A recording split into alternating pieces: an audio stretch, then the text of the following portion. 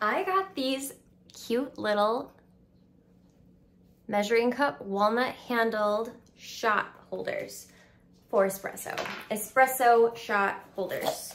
Um, they came in two cute little boxes like this. And the reason you want two is because if you're making multiple drinks and you want to split up the shots, you can just put them side by side so that way they run, uh, the shot runs half into this one and half into this one. But I love them. I've been using it to make my ice drinks in the morning and I just think that they're so cute and they look they look aesthetically pleasing when I'm making my videos. So I love them. They are glass and they got that little pour spout and yeah, just an essential piece when you're trying to make espresso. So happy shopping.